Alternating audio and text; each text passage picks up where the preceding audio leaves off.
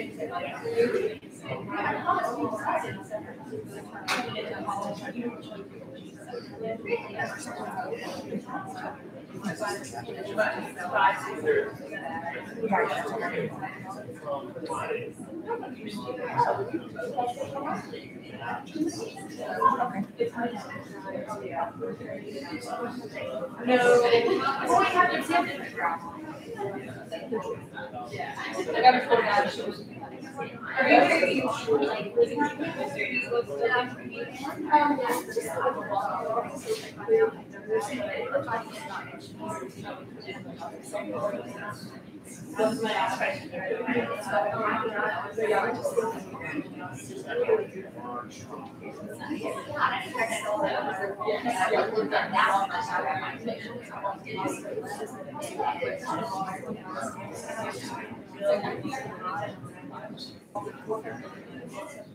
you.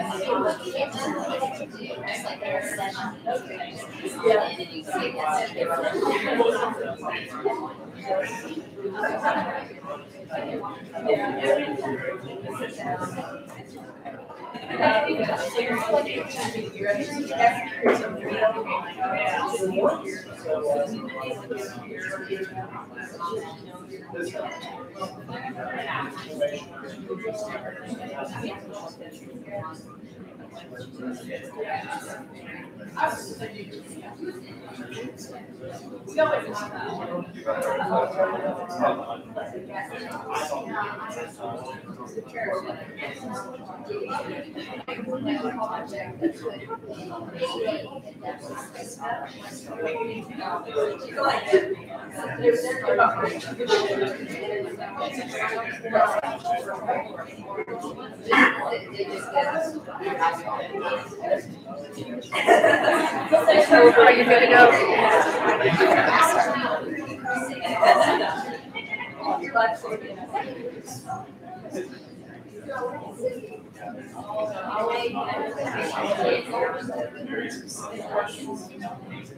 Good afternoon.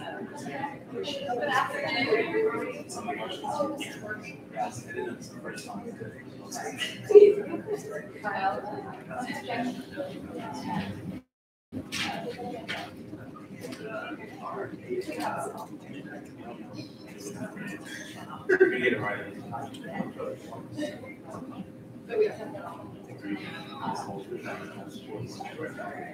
Oh, nothing like a dead battery to start the meeting is here. Okay, all right. So Eric, the battery says, you don't have to- you can do this. The speaker and I were talking about, we, it's hard for us to stand still in place to do a presentation. So we're going to use the handheld anyway. Well, good afternoon. Thank you for joining us today. For those of you who don't know me, my name is Mary Gowan and I'm the dean of the Mike Cottrell College of Business. And we always love having some of our alums and other friends come in to do the Cottrell Speaker Series. Um, so today we have a- an exciting uh, speaker with us. Um, we're very looking, much looking forward to hearing what he has to share. But before that, I always like to have a student do the official introduction speaker, but I get to introduce the student and brag about, you know, you guys, what wonderful students we have. So our introducer today is Lindsay Brown, who is a senior studying digital marketing in the Meyer and Communications. She's involved in sorority on campus, serves as a tour guide, and interestingly enough, she is a third generation UNG student. Her grandparents, her father, and her aunt all went to UNG. Love that. Uh, she's passionate about marketing and had wonderful experiences through her internship with Liger Partners, uh, which we'll probably talk about a little bit when she does the introduction. She created content for their social media platforms and learned a lot about digital marketing.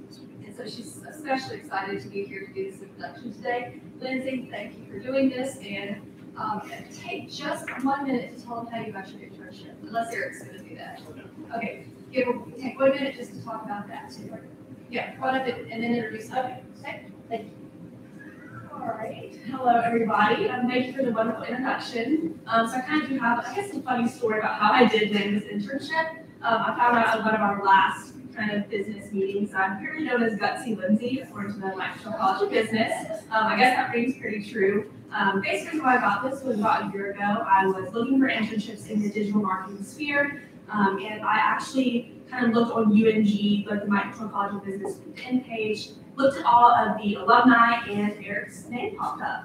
Um, so I kind of saw that he does have his own firm, he's a partner there. Um, so I actually sent him a nice little message on LinkedIn being like, hey, my name's Lindsay. I noticed that we both go to UNG, went to UNG, um, and have that shared love. So if you're willing, you know, I kind of applied for his internship and kind of pushed my name along. Um, he told me that he pushed my name in front of the line. Um, so I guess that makes me a little bit gutsy, um, but I actually did really enjoy this internship and definitely kind of solidified my passion and my love for digital marketing. I hope to pursue a career in the future uh, with the firm by Liger. Um, so without further ado, I'll go ahead and introduce Mr. Holtzclaw. Um, so Eric V. Holtzclaw is a visionary idea guy and serial entrepreneur with over 25 years of experience, whose tech background and experience founding and scaling businesses led him to be a sought-after expert to Fortune 500, Global 2000, and mid-sized companies for applying the best technology and techniques to support overall marketing goals. Today, Eric is a co-founding partner and chief strategist for the full-service marketing firm Liger Partners, combining his three loves, business, technology, and people. Mr. Holtzclaw has contributed to magazines and online publications and wrote the book Laddering, Unlocking the Potential of Consumer Behavior. He's also a host of the Claw podcast, where he interviews business owners and entrepreneurs, allowing them to share their insights and marketing expertise. Out of all the ideas he's brought to life, Eric says his daughter is his greatest one. Now, I guess I'll open to you, Mr. Holtzclaw.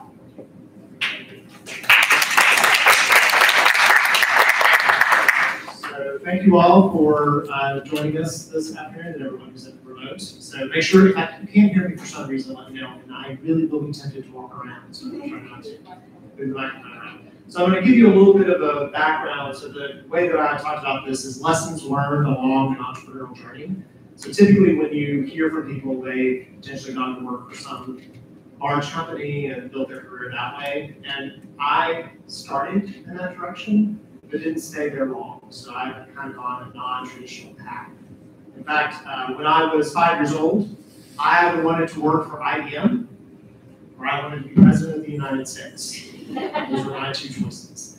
Uh, and one of the reasons I really liked IBM is in Atlanta, IBM was the company to work with. Now, it may not be so cool nowadays, but there wasn't, you know, Home Depot was really just in its beginning. IHG wasn't there. If you did end up at IBM, you had made it. I programmed computers probably from the age of seven or eight. Uh, this was before you could go buy them in the store. You would buy a magazine, would have the code in the back, and then you would code the computer and then play the game. So you were way, way invested into, you know, making sure that that, that you played that game and played it for a long time. So these were sort of my things. I might still end up being president of the United States, but my wife will enjoy that politics are not our favorite thing. Uh, so my path to working at IBM, because I did end up there, started in a furniture store. So my grandfather worked for a furniture store in Canton, Georgia called Cherokee Furniture. And he's the guy who would go out and fix everybody's washers and dryers when they were broken.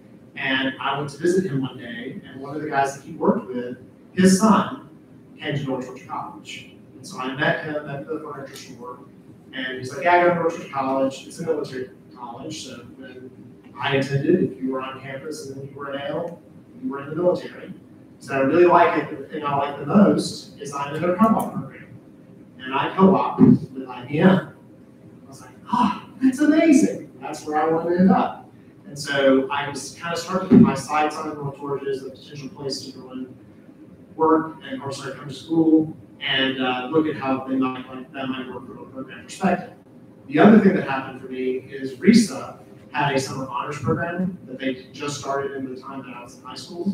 And I spent a summer here on campus between my junior and senior year, going to the arts department, participating in a lot of things on campus. It was a really fun kind of activity. And it was a way for me to experience the school and really think, you know, would I like it, those types of things. My daughter that Lindsay mentioned earlier did similar things at her choice of college, and it was very helpful in deciding where she ended up and what she wanted to do.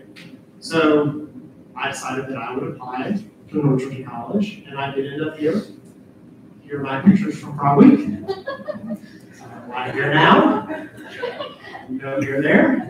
You get the boys, shoot your head down. Uh, so that's the, us graduating, you know, back then, I don't know if they still do this, but they used to tell you at the end of the week that you're gonna have to jump out of a helicopter, and if you didn't do all of the things right, you're gonna break your legs, it's a very scary kind of, you know, stuff, but it was fun. It was one of those ways to kind of get us into the almost the fraternity of the military college. And of course, wearing the white t-shirt, which I wouldn't wear one today when I was dressing. I was like, I have to wear something that's not a white t-shirt. That means you're a freshman. No, and you have to like say things to the seniors and those sorts of things. And uh, my wife who's with me today went to the sweetheart ball here on campus. So we've been together for a very long time. She's been through all these uh, experiences with me as I follow this kind of crazy career path and does currently work for my company.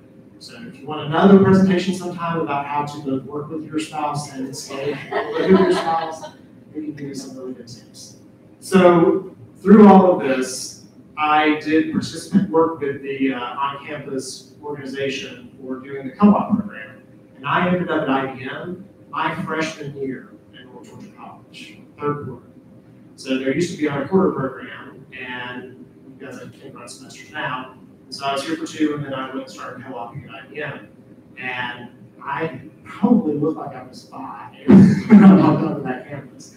But went and bought the blue suit, to the gray suit, to the ties, and it was amazing. We had, they had us sitting on customer support lines, supporting um, classrooms with a system that they had built that allowed the schools to teach their kids how to use computers and you know, learning, that type of thing.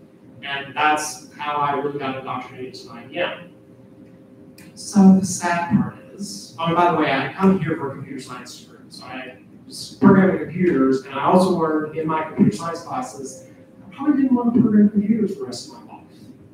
Now, I've never programmed a computer, but I know how to talk to technologists, and I know when they're telling me things that aren't true.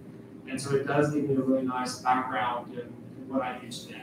So you may get a degree that you don't use you know, specifically that way, but it will give you a ground to do other things. And so at the time I was at IBM, IBM was laying off a lot of people. So they were in the middle of a bunch of layoffs, and they didn't know how to do it. So this was before companies really did big layoffs, and they were giving these people way too much money. So they're typically in their 40s and 50s, they're giving them these large pensions to take a package and go off and do something else or just leave. And these people were too young to retire, so they weren't going to stop working, But what they did in Atlanta is they went and started a bunch of startups.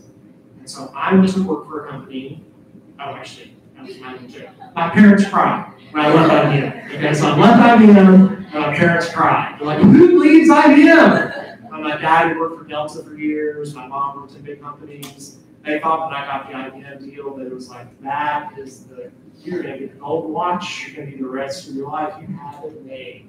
And when I ended up IBM, I realized, I might not like it so much. It's kind of boring, a little too structured. Uh, when my wife married me, and she's like, hey, I married this IBM guy. He does it at seven, he leaves at four. This is amazing. And then I dashed everyone some, some dreams and got a job with a company called Geometrica back in the day. And Geometrica had been started by a bunch of these ex-IBMers. So they had this pension running. The company was only 40 people. 30 of those people were ex-IBMers. And because I walked in with that IBM background, I was almost immediately in. Was kind of fraternity in Atlanta. You would say, oh, I worked at IBM. Which buildings were you in? What did, what did you do? And there I met a really crazy CEO. So I met a guy who uh, started Peachtree Accounting Software, which is probably one that you guys are most familiar with. Uh, he'd also done several other startups. And his name's John Hayes. And when I, when he, uh, a lot of people were really scared of John. And either because of my military experience here in North Georgia or other reasons, he didn't scare me. I was like, he's just a guy. He had, he gets upset sometimes, but he's somebody who's just looking for somebody to help support him. So he and I ended up creating a really good relationship. And when they ultimately sold Geomatica and he went to start some other companies, he was allowed to take one employee with him, and he took me with him. And so from there, I never ended up in a large company again. In fact, my history is about 30 different companies. So I have a very varied background in lots of different industries and spaces. And not all of these up here are successes. This is an example of things that worked and things that didn't. Some of the key that did work well, One Coast, we were the largest VC placement in the 90s. We applied to uh, manufacturing rep agencies, which are the people who sell gift and home decorative accessories. We applied technology on the back end to make it more efficient. Uh, so Atlanta was not a place for VC money. It was not a place for entrepreneurship. Being an entrepreneur was not what it is today. It was kind of, you decided you don't want to work, you don't really want a real job, those types of things. Uh, but that was kind of interesting. User Insight is a business that I sold in 2012 and swore I'd never start another one. made, made a couple promises, and then we accidentally started Liger Partners over the course of the last couple. And if you're if you haven't caught on, Liger Partners is named after the movie Napoleon Dynamite. So I had a strategy firm, and I was signing a lot of clients on the marketing side, and my long-term assistant said, you realize this isn't a consultancy anymore, you really have a company. But in order for it to be effective, we needed to acquire an uh, execution company on the back end. So we merged the two businesses, and we wanted to come up with a name that meant the merge of two things that were strong, so lion and tiger. And we love the movie The Napoleon Dynamite. Now you have to watch it twice. So if you only watched it once, that's why you don't like it. You watch it the second time. And so the company is very much steeped into the movie The Napoleon Dynamite. We have a disco ball in our the middle of our space. You know, one of our key uh, core values is that we're hungry for tots. We are not Moser or Summer Wheatley, which are bullies. So that means that we are nice. So we really do play into that and use that. I mean, it's a marketing company. To do something fun, right? And so in this course of all of these companies and things that I did, one of the things that's interesting about it is I may not have worked for any Fortune 500 or Global 2000 companies, but I have worked with a lot of them. So when we were at User Insight, we, we supported Fortune 500 Global 2000 doing user research, and we would do somewhere around 250 to 300 projects a year. So you don't have to go to work for the big company to get the big company experience, understand how they work, what they do. And they often bring me in or others like me in to give them that outsider perspective, to look at things in a way that they don't. They're slow, they don't necessarily get to keep up with the trends because if you think about it, they're working within the big company, and if you're working with a lot of big companies, you can kind of bring key insights back to them. So I, and I've gotten to just a lot of like fun and interesting experiences based on this. So there are other paths, and I would suggest to you in today's economy and market, you need to figure out what it is that you do well and promote and sell that to a company. The other choice is that you're hired by a company and the company sells what you do well to other people. So think of yourself as your own sort of um, skill set, own kind of company along the way. So what I'm going to do is talk to you a little bit about the lessons that I say so far. Because I learn new lessons about being an entrepreneur all the time. And so one thing I'm going to tell you is that being an entrepreneur is not an easy job. It is not all the things that you Steve Jobs and Elon Musk Marcus Lemonis, which is my favorite entrepreneur. If you don't know who he is, he's the Profit on CNBC. He's one of the more grounded, I think. They are the rock stars of this world. And we see a lot about this kind of entrepreneurship being a rock star thing. It is a tough, tough job. It is just as tough as deciding that you're going to go be famous singing or acting or any of those kinds of things. So you shouldn't tread into it lightly. It is not an alternative to having done the traditional job thing because you just don't like traditional jobs. You are going to work harder as an entrepreneur than you will if you go work for a company. In fact, I often envy those that are comfortable enough to just go to work every day, take their vacation, do those types of things. I'm constantly dealing with types of situations that you typically wouldn't in that case. So don't just see it as this sort of, it's been an interesting trend because when I did it, I was sort of in this weird place and now being an entrepreneur is like this really cool rock star thing. And you just have to be careful that you don't get caught too much up into that it. Okay?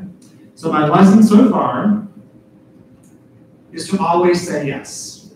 And now there's a lot of people out there are like, oh, no, no, you should say no because you need to limit your time, you need to whatever. I am a yes man. Probably too much to my uh, my teams. You know, they come to me with a problem, and I'm like, yeah, but I don't know how we can do it. Don't tell me how we can. I don't know how we can. I have to live in this world of possibility. And as an entrepreneur, you truly do. You have to think every day, this is possible, I can get there, this is gonna you know, really be something that's gonna work, and make sure that you're navigating moving forward. It also means that you don't live in the past much. It's not that you don't take lessons from the past, but you can't look back on those failures and dwell there. You have to really be future thinking and thinking about what you can do. And my willingness to say yes has been part of what's happening in a lot of these opportunities. So this is just kind of a sampling, like I've been interviewed by CNN, I've been quoted in USA Today, I wrote for Inc. magazine for a couple of years because I sat at a table with Eric Schurenberg, who is the editor of Inc. Uh, in New Orleans, and he asked me if I'd like to start writing a column, and I, I wasn't a writer at that point. And I was like, sure, sounds great. Once a week, perfect. I can do that, 500 words. And then I think I called April and some people in the office, and so I can 500 words every week for a new magazine. So I kind of figured that out. I was on the radio for a couple of years, uh, interviewing entrepreneurs about their entrepreneurial journey, because I've always been obsessed as to what makes entrepreneurs work or not. Uh, people often think it's like money and access and resources. It's often about your background. So what, what's in your past is really what drives you. Uh, and I've had the opportunity to go to Saudi Arabia. I've also gone to uh, all over the world riding tractors. So we did this big study on tractors, and I got to ride tractors everywhere. So that's a tractor I guided a partner over in uh, East Germany. So we're on this farm, kind of riding around and figuring out how tractors work because we said yes to a company that we could redesign the interfaces on the inside of their tractor. And we did a good job. So thinking of saying yes figuring out then how to accomplish it. And to be an entrepreneur, you say yes because that person has money and you figure out how to then deliver the service on the back end. And that is a tightrope walk that many people can't make. Like, I don't know how to do this, how can I tell this person that I can? If it's within your sort of spectrum and understanding, you can put those resources behind it. It's very important in the entrepreneur world, specifically if you're trying to stand something up, that you say yes. The next one is never give up. And so I take this one actually from my wife, because this is what she often says about me as the number one, my number one trait, is that I just never give up. I've You know, every day I do the thing, no matter what's kind of breaking down or not working. Now, when I talk about never giving up, I'm not telling you to be foolhardy. So I'll see people who start a company and it's not a good idea, you know, they put all of their money into it, they haven't really built all the right types of things around it. You do have to you do have to know the right sort of circumstances that you're getting into, but, but you can't give up. And when you are the entrepreneur running the business, everyone is looking to you for your leadership.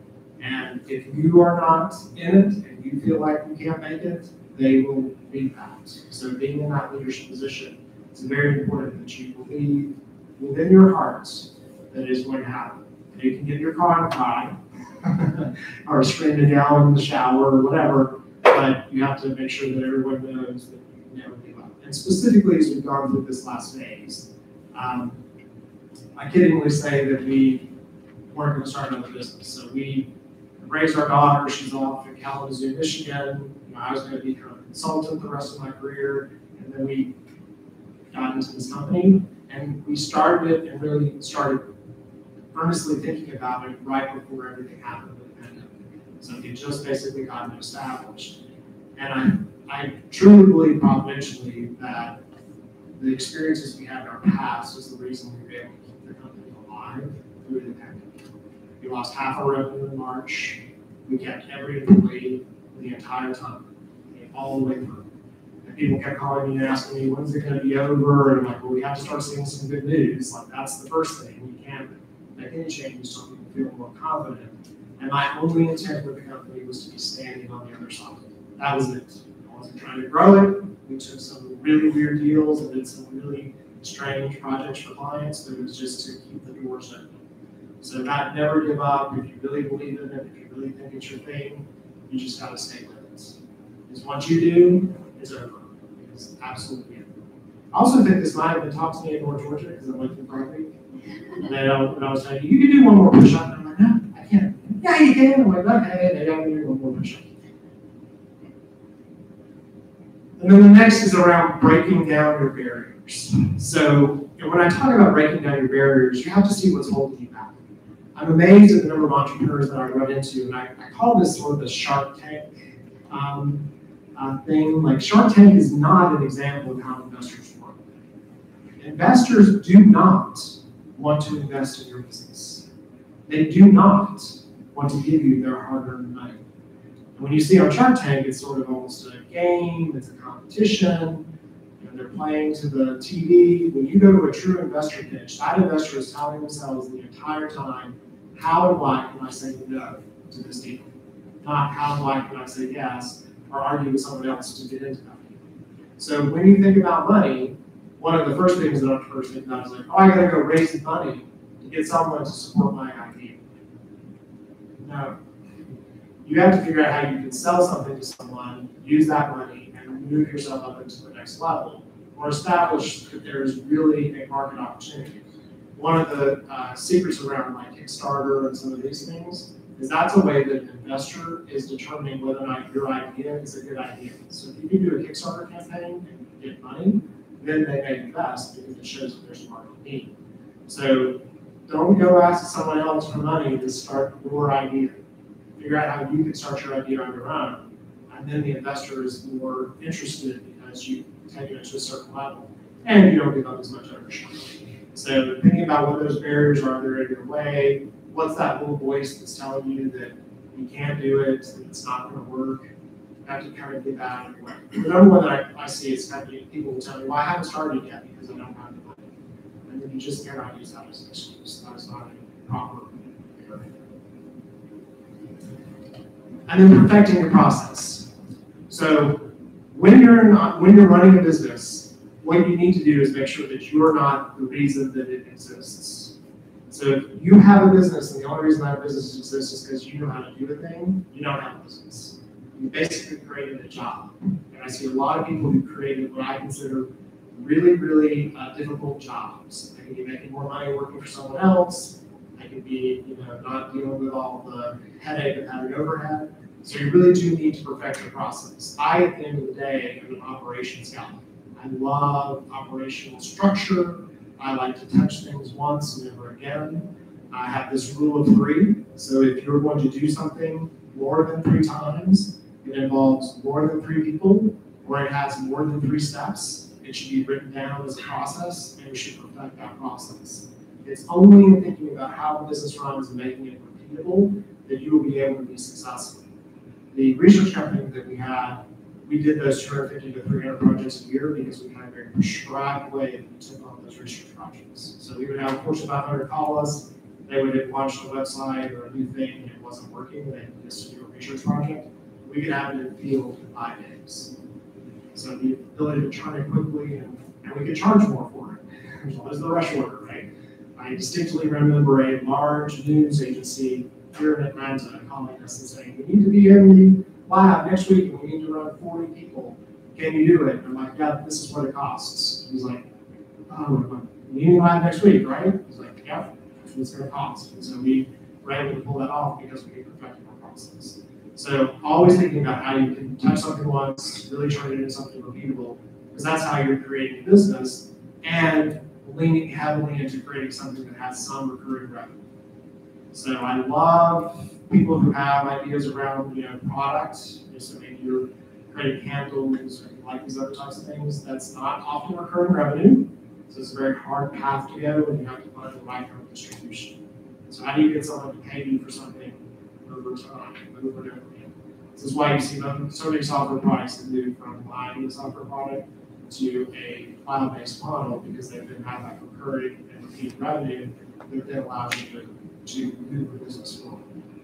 So, the back to the process. And then you have to give up control. And this was a lesson that was sort of hard for a little bit of a control freak. So I'm good about the perfection of the process, but I understood how the process worked, and I could run it better than anyone else. Uh, I went to spring break and I read a book called E-Myth, which is uh, by Michael Gerber. So it's one of the kind of early business books. So if you're looking for something to read that really tells you what a business needs to look like and how it works, it's one of the foundational books in my opinion. I did the classic thing. So I went and read this book and I came back from spring break and I told my team, we're changing everything. I read this book, which is the scariest thing your boss can tell you, right? But he does talk about turning your business into a franchise and making it work in a way that, it, that you don't have to leave it. And this is that like, well, what if you got hit by a bus or diagnosed with something, you know, those types of things. But you know, you, you might want to take a vacation. And you might want to take a vacation and your phone not ring the entire time or have to check it. And the only way you can do that is starting to give up control. Understanding that you have people in place and that those people need to be able to, to do the job for you. I had a project manager who worked with me before my great awakening. And uh, we were running these studies and I was being a little bit of a control freak and I kept showing up to the study and I was basically running the study. And she came to me and she said, so we have this big study happening, it was with Southern Company at the time. And uh, if you come to the study, I quit. I was like, wow, okay, so why? It's like, well, because you don't need me. Like, if you're gonna show up and run the study, why did you hire me? I'm like, okay, got it. I will stay at the office next to a phone and you can call me if anything goes wrong. So the first day ran great. Second day, we had an ice storm. And we were working with Southern Company. they had to roll trucks and get people out there, so it really impacted that second day.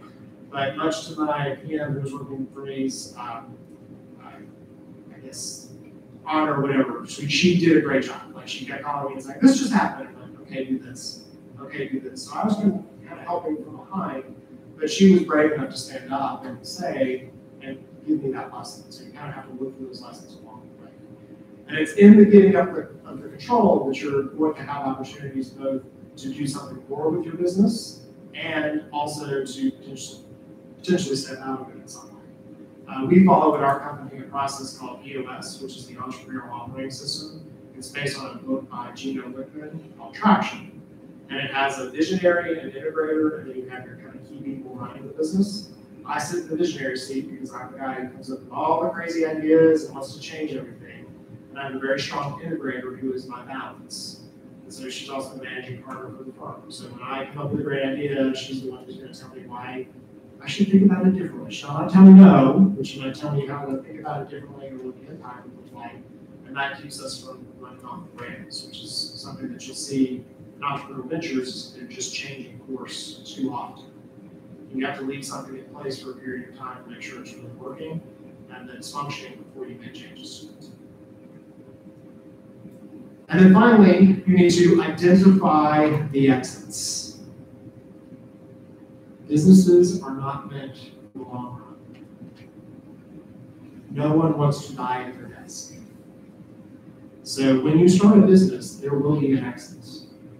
You will either sell the business, you will decide to close the business, you will merge the business with someone else, you will give it to someone else, but you will have a last day in that business. It's not like getting married, which is supposed to last your entire lifetime, or some of these other kind of uh, things that we talk about. This is something that is supposed to eventually go away.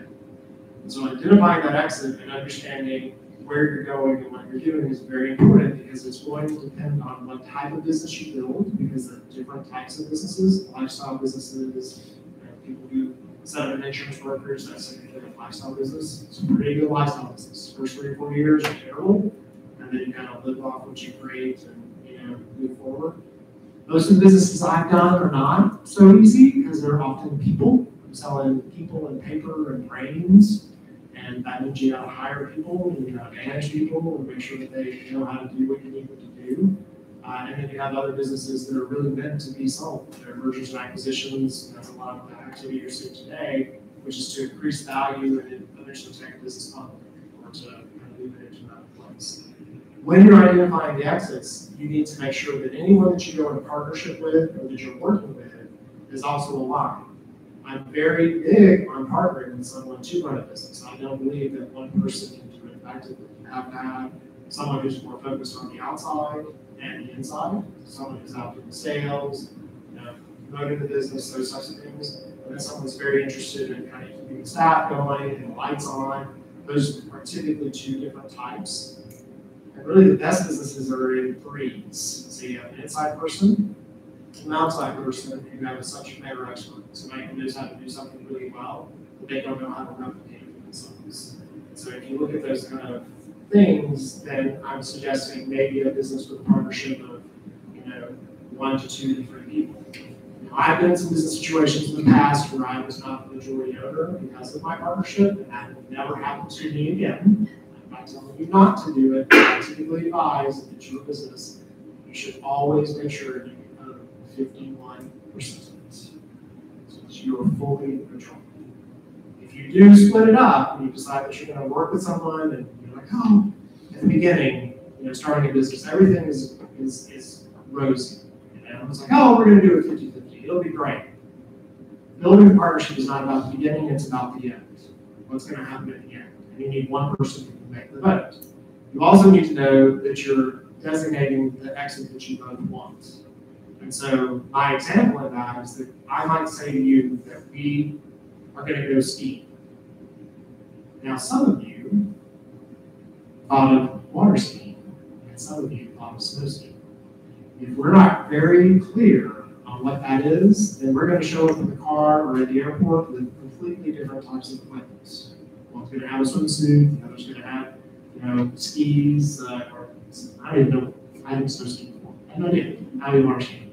So this has been a very important thing, so when you're sitting there at the beginning to put the business together, make sure that you know what you want at the end. What does that look like for you at the end? That's kind of a grim way of looking at it, but it's very important to structuring it, and everyone kind of gets all happy about the idea, and pitching it, thinking about, you know, where the source customers is gonna come from.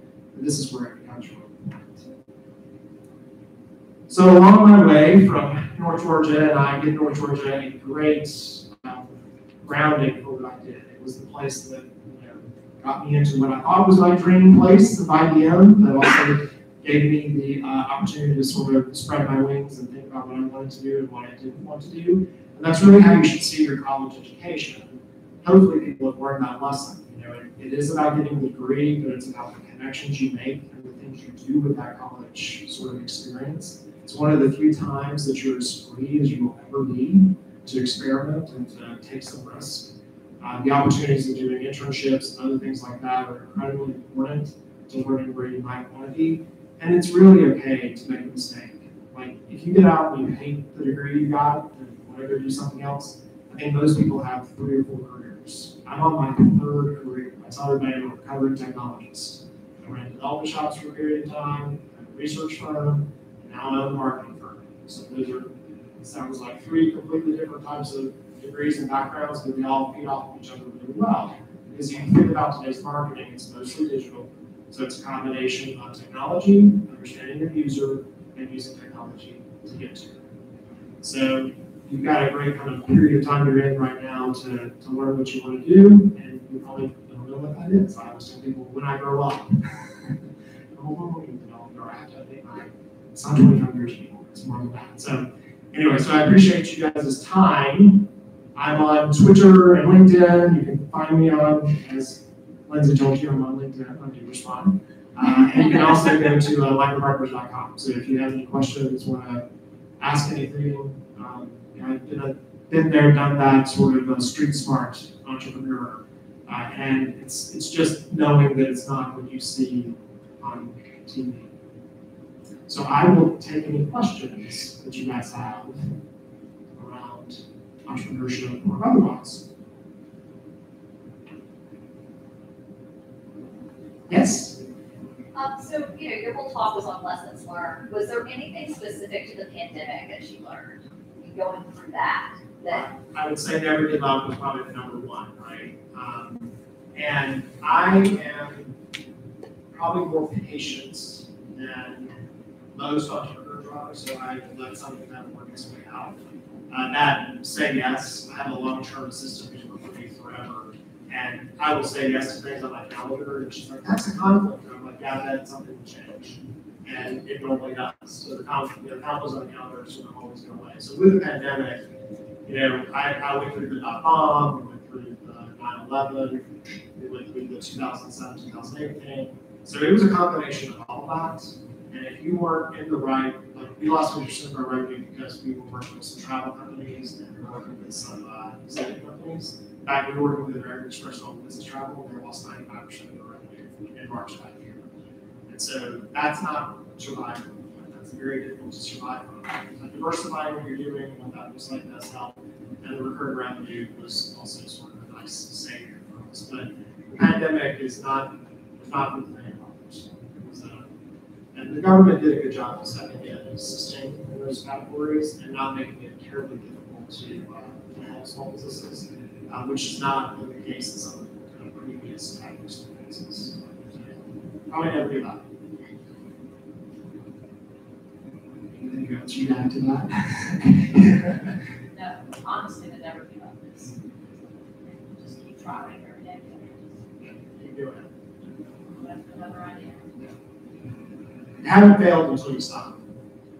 I mean, it's the truth. You just haven't failed until you stop. And, and I'm not suggesting that you be foolhardy, right? There are business models that are wrong. Like, you talk to somebody that tell you, I don't think that's going to work, especially if somebody's in that space, you should listen to them.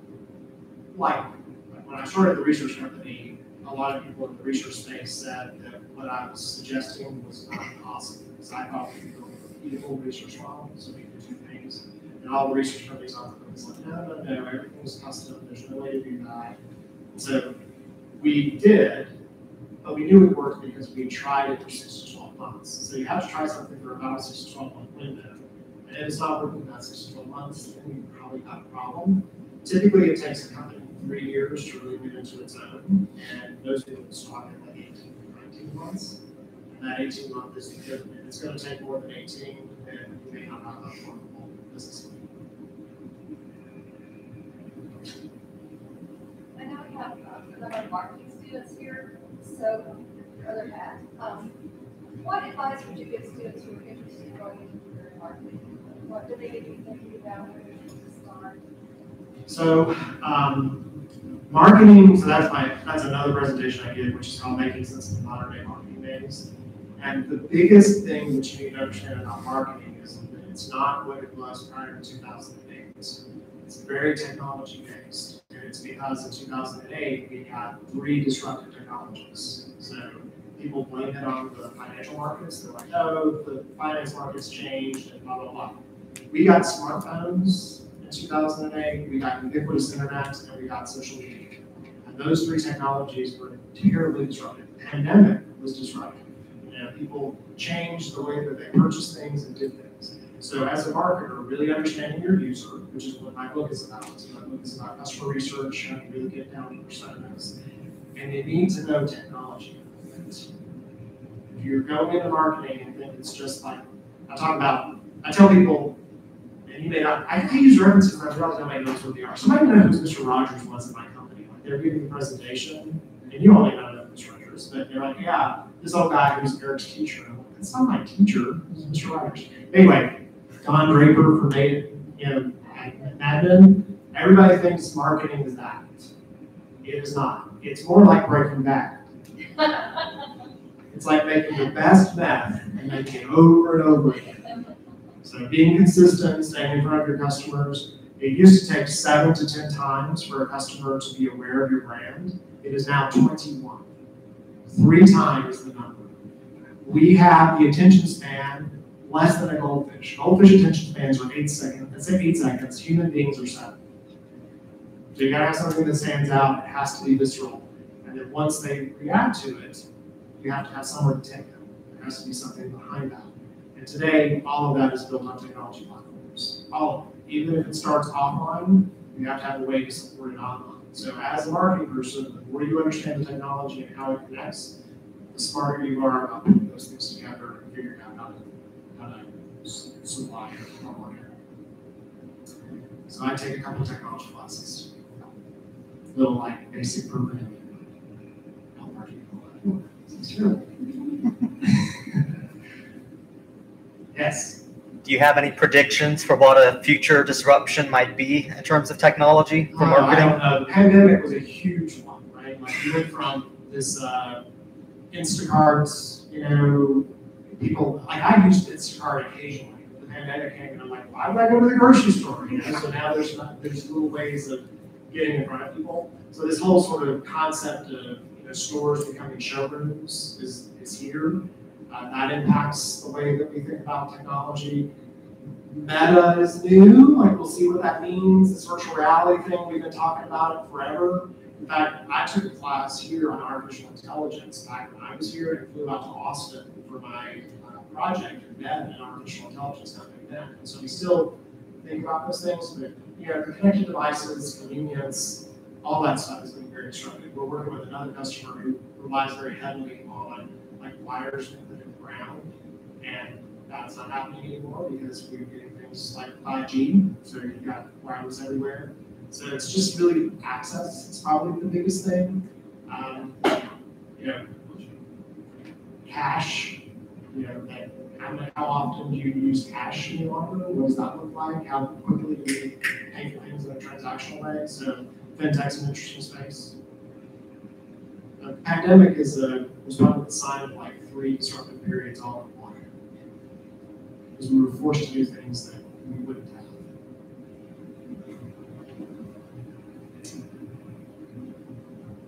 Alright. Well, I'm around if anybody has any questions. I appreciate you guys' time. Alright, thanks.